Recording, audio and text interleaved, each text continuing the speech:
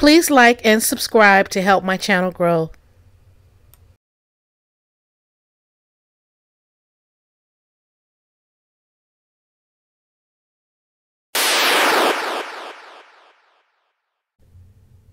Cameron Willingham was found guilty of arson and murder and basically was prosecuted, convicted, and sentenced to death.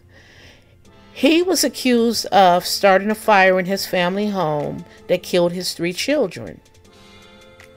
Throughout the entire ordeal, Mr. Willingham continued to proclaim his innocence.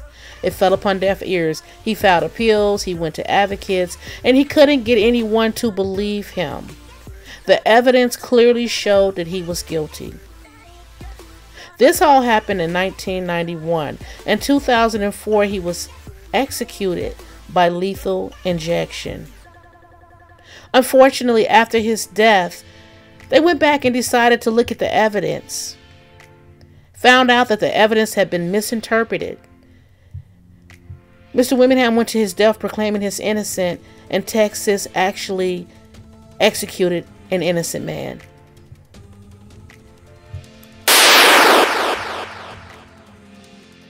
Larry Griffin from the state of Missouri was convicted of murder in 1981 of drug dealer Quentin Moss.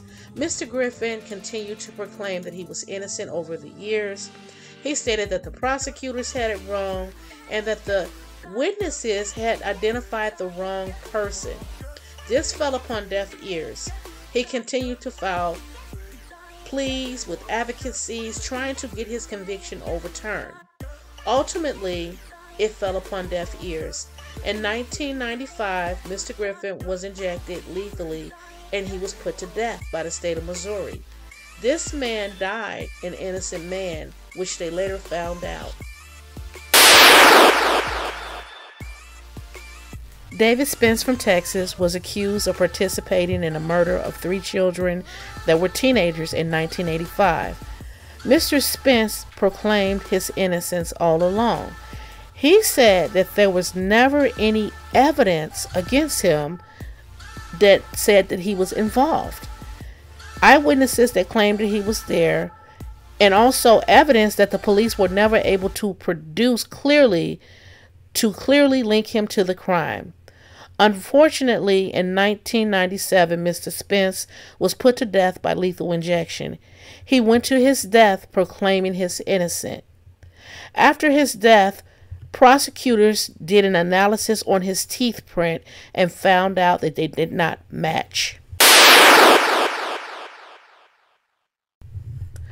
Jesse Tafero from Florida was convicted in 1976 for killing a state police officer.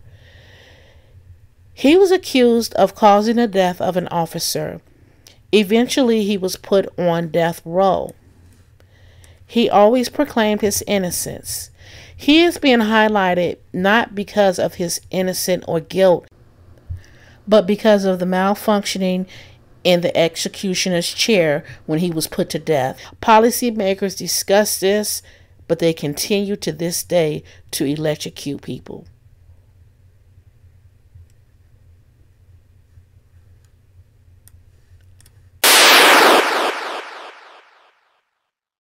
Ruben Cantu from San Antonio, Texas, was 17 years old when he became the co defendant in a robbery that turned to homicide. His co defendant and himself were convicted.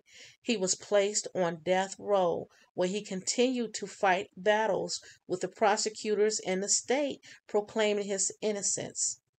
Advocates were not able to gain a retrial for him, and 12 years later, he was executed by lethal injection. Unfortunately, 12 years after his death, it was discovered that Mr. Cantu was not only innocent, but he wasn't present during the robbery at all. Michael Hog Roberts was serving time in a Missouri prison in 1983 when he became a co defendant in a murder of a correctional officer.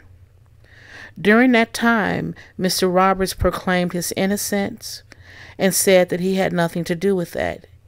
He fought in court and he eventually lost and was placed on death row. In 1999, he was executed by lethal injection.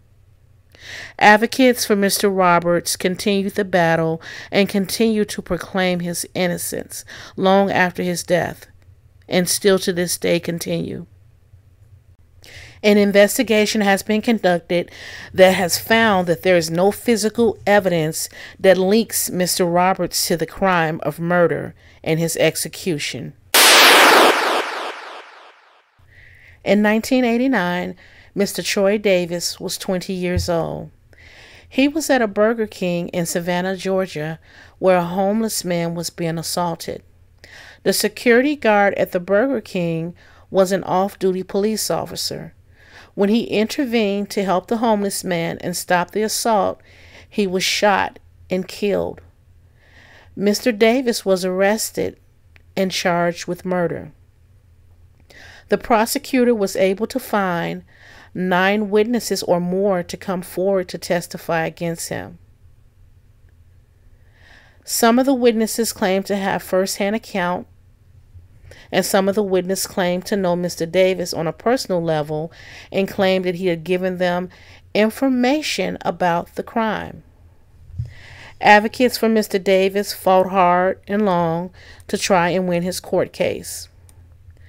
Mr. Davis was subsequently charged with murder and convicted. He was given capital punishment where he received the death penalty. He was executed with a lethal injection. Mr. Davis supporters continue to advocate in hopes of clearing his name even after death. They believe that he is innocent and no evidence has ever been found.